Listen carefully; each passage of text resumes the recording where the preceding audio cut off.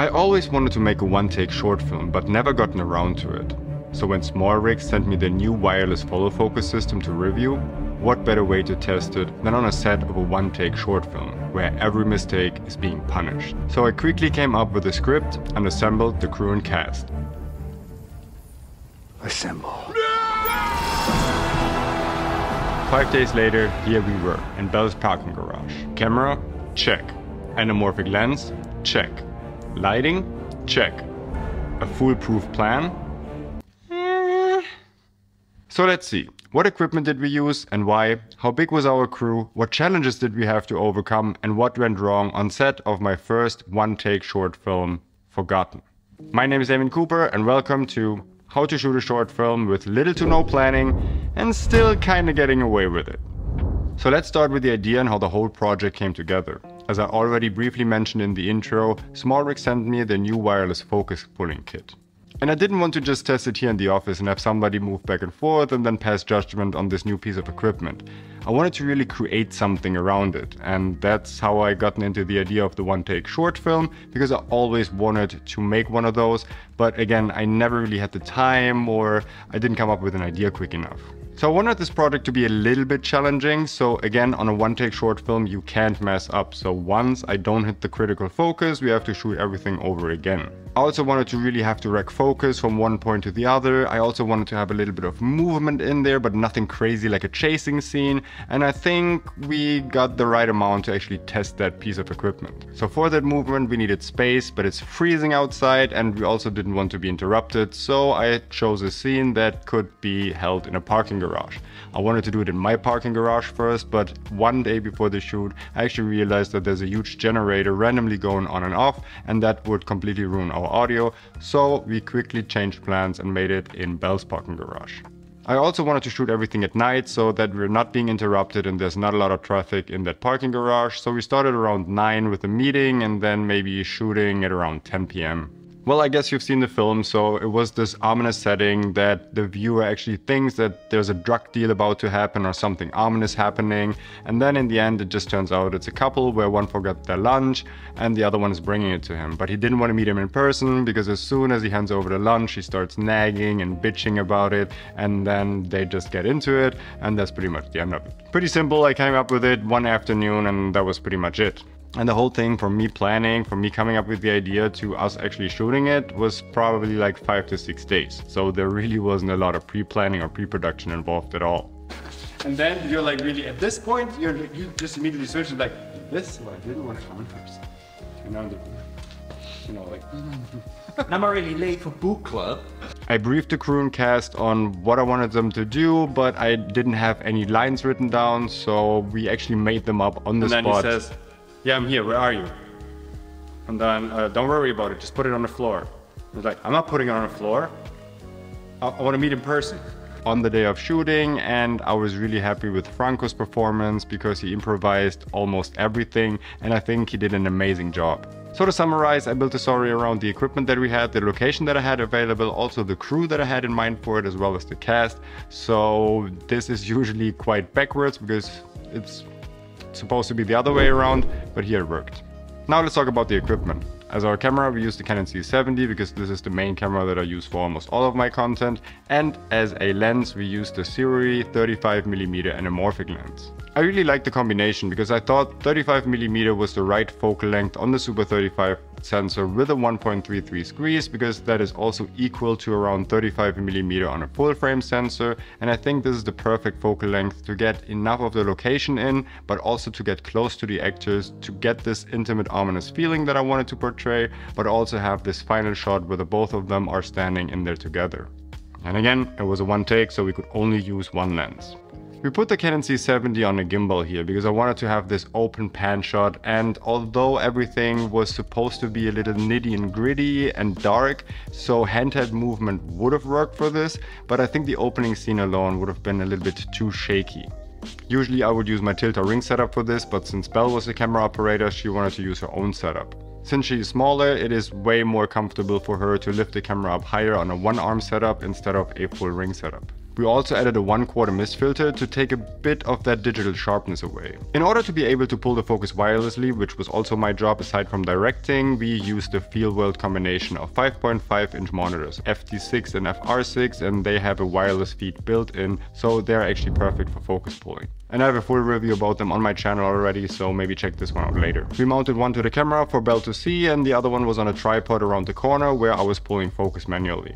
As for the equipment we used to actually pull the focus, as already mentioned, we used a SmallRig follow focus. And this has worked very well for me and if you want to see the full review, make sure to subscribe because I will be dropping this, I believe, next week. I did mess up focus one time, but that was entirely my fault and not the fault of the equipment, because I also had to give Joao the sign to actually move in onto the shot because he was around the corner and he couldn't see anything. But at the same time, Bell was moving backwards, so I had to pull focus, but I totally forgot because I was so concentrated on giving him the sign. So the shot is out of focus for about a second or two. As for lighting the short film, we almost exclusively used the available light that we had in the parking garage. The only light that we used as a key light to illuminate Franco's face was the Zhiyun F100 and we had it on a boom pole with a diffusion and we just held it up close to his face and when we did the pan to the left and the right they actually had to duck down immediately so that we didn't see them in the shot and as soon as she was panning backwards then she was holding up the light again and that just illuminated his face well enough and we tried to mimic the fluorescent lights on the ceiling but we didn't really have enough space especially with the one take to just put up some elaborate lighting. And since I wanted to have an overall dark feel anyway, I think that turned out pretty well. And there's also a full review coming about this light too. So the last piece of equipment we need to talk about is our audio. Since it was a one take, I decided to go with lav mics instead of a boom operator because A, that is just another point of failure and B, it would have been way harder with the lighting and the moving around of the camera. My lav mics of choice are always the Tentacle Track E's. They have 32-bit float receivers and we don't have to worry about any kind of interference and you can easily sync them up via timecode with our Canon C70. We hid them under the actor's shirts with an Ursa chest strap and this is also my favorite way to hide lavs because it's really easy to do and you also fight a lot of the rustling noises. And if you're interested, I will link all the equipment that we use down in the description below.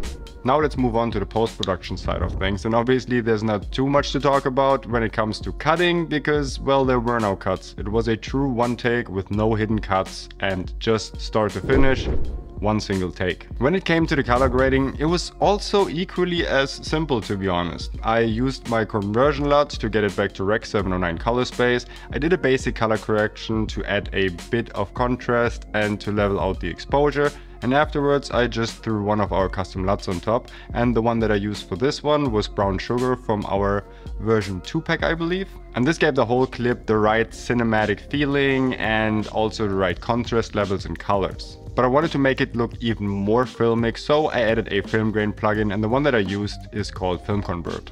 And here I added film grain as well as a film stock preset. And if you're interested in how I color grade C70 footage in general, then check out the video I uploaded two days ago on how I color grade Canon C70 footage. And if you're also interested in our custom LUTs, then there's a link down in the description below. I only added two tracks of music to this short film and both are from Epidemic Sound. And if you want to sign up and get one month for free, then check out the link down in the description below. Because Epidemic Sound is where we get all of our sound effects as well as all of our music. With the first track I wanted to build suspense and I wanted the viewer to feel like something potentially dangerous is about to happen. And right when we was handing over the package, I just searched for some happy quirky music and that kind of de-escalated the entire situation. And music is so crucial to how you feel when watching a short film like this. So here's a part of the scene without any music at all. Did you get the package? Of course I got the package. Are you coming or what? Leave it on the floor, and I'll go and pick it up. And now the same clip with music. Did you get the package? Of course I got the package. Are you coming or what? Leave it on the floor, and I'll go and pick it up. As for the sound design, I really didn't have to do much. I mostly used the sound from the lavalier. Everything for the beginning scene and the car was just straight up audio that we recorded on set. The only things I added in post was the dialing signal when he called him and the footsteps when he came around the corner. For everything that our second actor said on set, I didn't really like it too much, so I had him record another voiceover afterwards and send it to me via his phone. And that was so much better, so I just dropped it in at the right time and I also edited the audio so that it sounded like it came through a phone. Leave it on the floor, and I'll go and pick it up. Leave it on the floor, and I'll go and pick it up. Speaking of editing the audio, I just tried to enhance the audio a little bit via my usual techniques when I edit voiceovers, but I also had to get rid of the echo because it was really echoey in this garage and it was just a bit too much. Of course I got the package. Are you coming or what? Of course I got the package. Are you coming or what? And I did this via a plugin in Final Cut Pro 10 that actually uses AI. The last thing I had to do is I wanted to get rid of a bit of that rustling from the lavalier microphones that we hit and I also have an AI tool to deal with that. The last thing I added in post-production were the end credit titles and I used a plugin from Motion VFX because I use all my titles from Motion VFX. There's also a link to those in the description below and I think they're called M Title Cinematic. Now let's quickly talk about the crew that we had. We had a crew of four people and a cast of two. I was the one directing as well as pulling focus and Bell was the one operating the camera.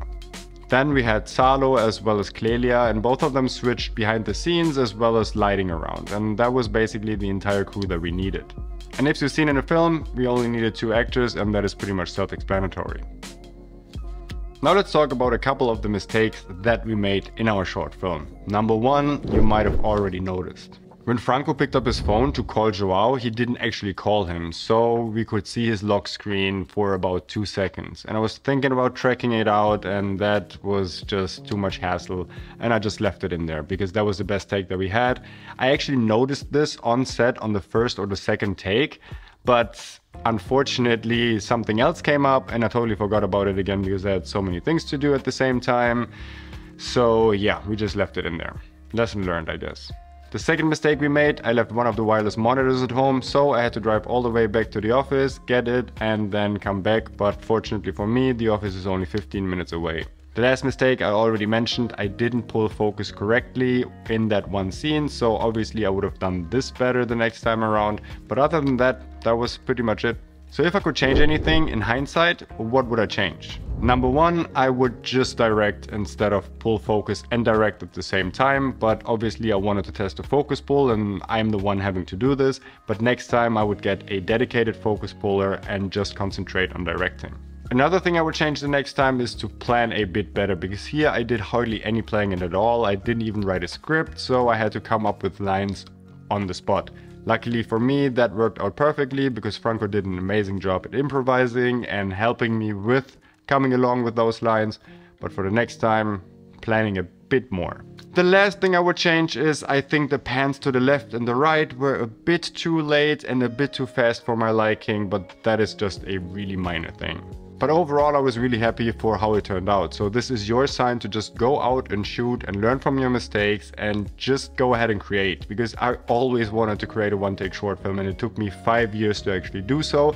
And now I'm really happy that I did and I will definitely do more in the near future. Speaking of the very near future, the next big project that took me over a year filming in 10 different countries is Cutting Edge, my short film documentary that I will release on March 2nd. So make sure to subscribe and hit the notification bell to know when I upload it exactly. I hope you liked this behind the scenes of my short film Forgotten and if you did then please give this video a thumbs up because it really helps the channel grow and since you're already here maybe check out one or two of these videos how I color graded the Canon C70 and the trailer to my upcoming short film Cutting Edge. Hmm.